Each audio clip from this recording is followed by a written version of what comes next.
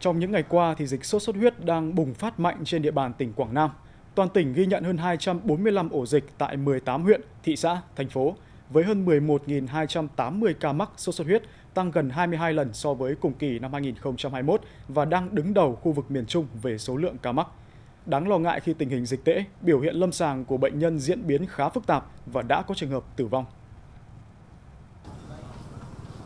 Dù đã sốt hơn 4 ngày, tự đi xét nghiệm và biết mình mắc sốt xuất huyết, thế nhưng người phụ nữ này vẫn quyết định điều trị tại nhà.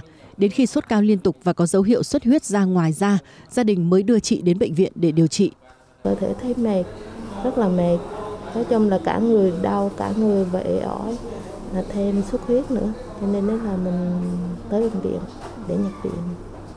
Tại tỉnh Quảng Nam, số lượng ca mắc sốt xuất huyết bắt đầu tăng nhanh từ tháng 6 và tăng đột biến từ đầu tháng 8 đến nay và chưa có dấu hiệu giảm. Trong thời gian gần đây, đặc biệt trong năm 2020 này, thì bệnh nhân bò đặc biệt. Số bệnh nhân mà có tỷ lệ cái giảm cái tiểu cầu trong máu rất cao à, phần lớn chiếm gần như là 90% bệnh nhân vô nào viện đều có giảm tiểu cầu và cái giảm tiểu cầu này là một trong những nguyên nhân mà gây ra các cái triệu chứng nặng đặc biệt là trong đó có xuất huyết não rối loạn đông máu.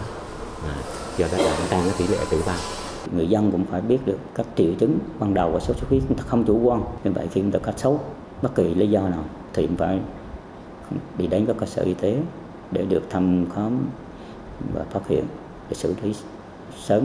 Bên cạnh đó thì ngành y tế tăng cường, chúng ta giám sát, cảnh giác với các ca bệnh có sốt vào viện để phát hiện sớm, xử lý kịp thời theo đánh giá của Sở Y tế Quảng Nam, số ca mắc sốt xuất huyết trên địa bàn tăng cao do bên cạnh chu kỳ của dịch bệnh thì tình hình thời tiết hiện tại rất thuận lợi để mũi phát triển. Mặt khác, do ý thức phòng chống dịch bệnh của người dân không cao và lực lượng y tế cơ sở quá mỏng nên không kịp xử lý các ổ dịch.